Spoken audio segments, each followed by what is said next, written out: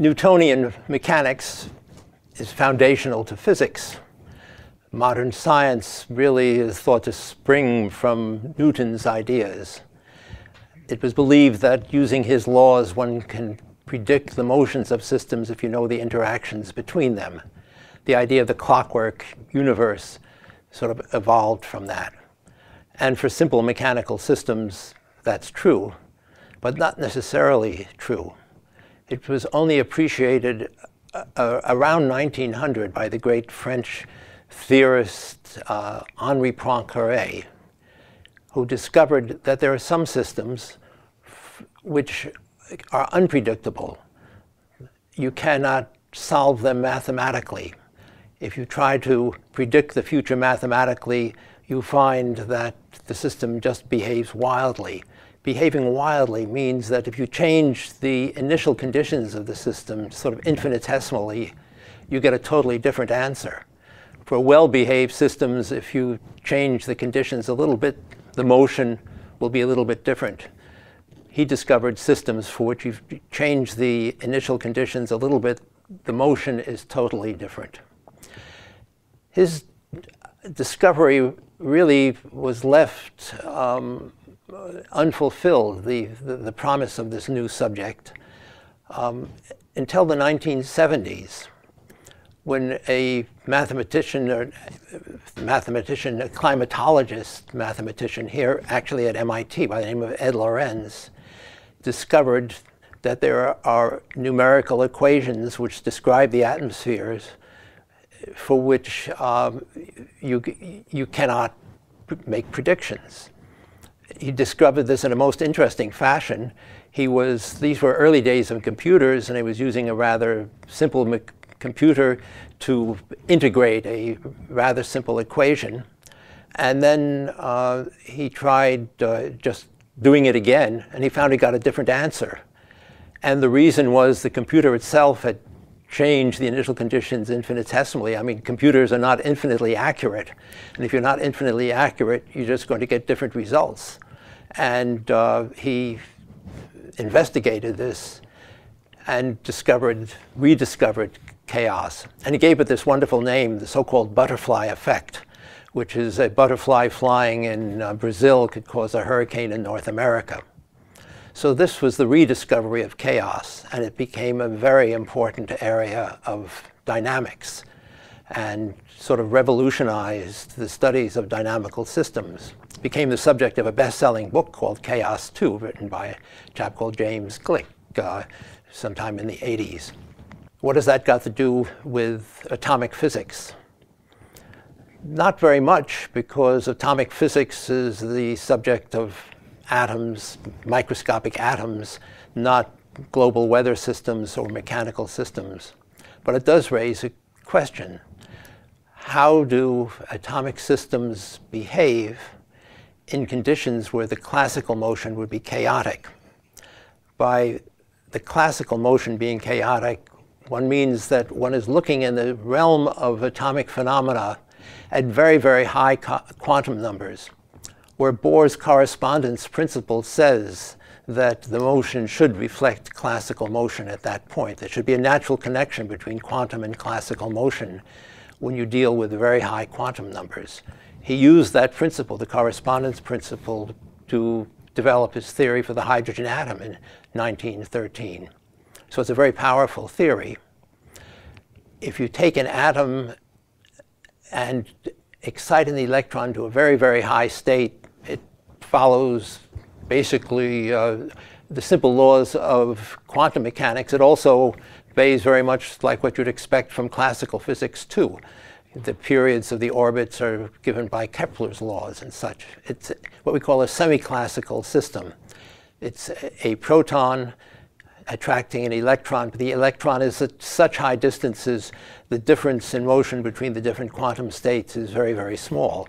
That's called the semi-classical regime just the atom by itself is never chaotic, but if you put a field on it, for instance, a magnetic field or an electric field, then it becomes, the classical motion becomes chaotic. And the question is, what is the quantum behavior of the system?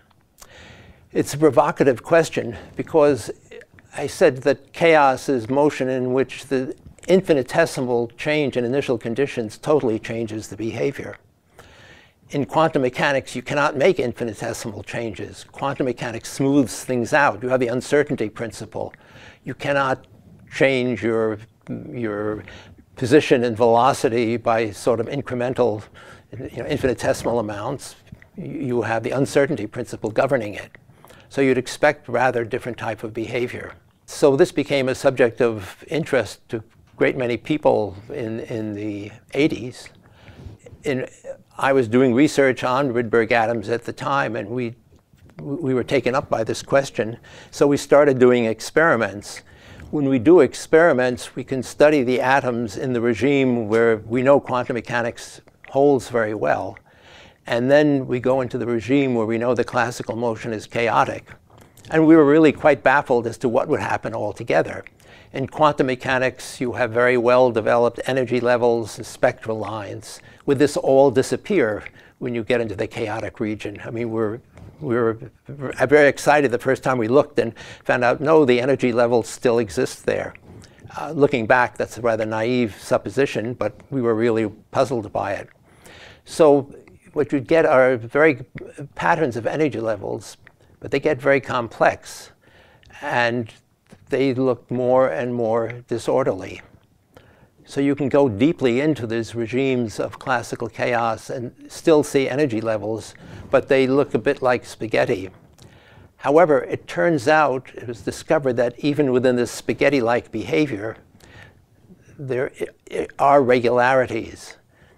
And these regularities correspond to, um, they, they correspond to periodic orbits which continue to exist even in the presence of chaos.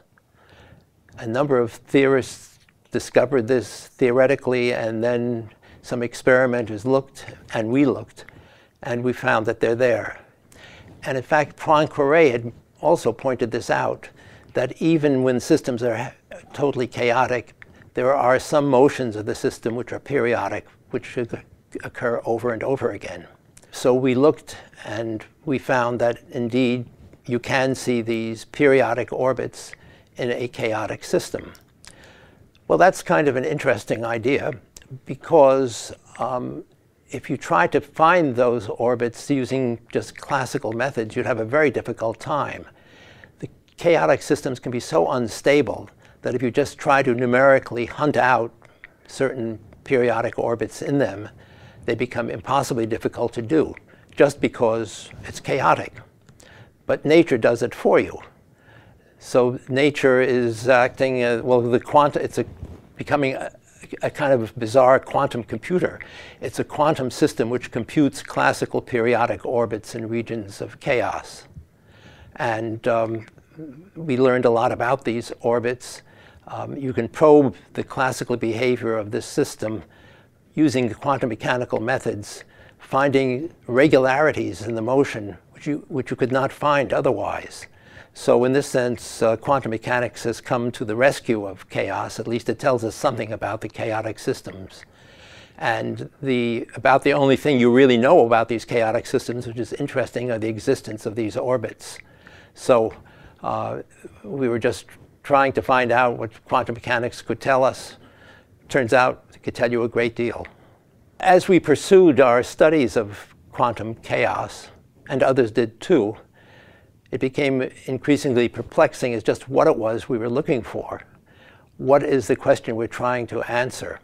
Well, one answer is uh, what are the characteristics of a quantum system which reflect the fact that the classical motion is chaotic? And we do have an answer for that right now. The more deep question is that in principle, that quantum mechanics does not have room for chaos. If you look at any system which is sort of a finite system in a box, if you look at the quantum mechanical solutions for this system, they're all periodic. You take superpositions of, of wave functions, each of which is oscillating in its own frequency. No matter how many you take, the net result is always a periodic motion.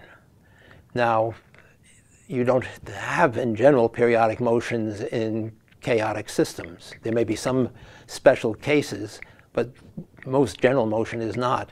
So it would seem that quantum mechanics is incapable of describing classical chaos.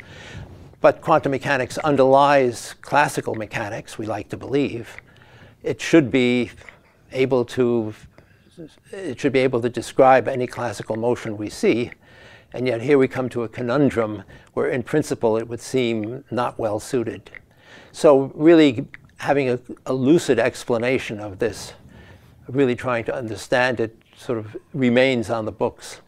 Um, one of the leaders in the field, um, Michael Berry, a very fine uh, wave physicist from England, uh, introduced the term quantum chaology instead of quantum chaos. And I think it's a good term, which means those quantum phenomena which are associated with classical motion, but it isn't really chaos itself. However, the term qu quantum chaos has stuck, and people are still puzzled by what it means.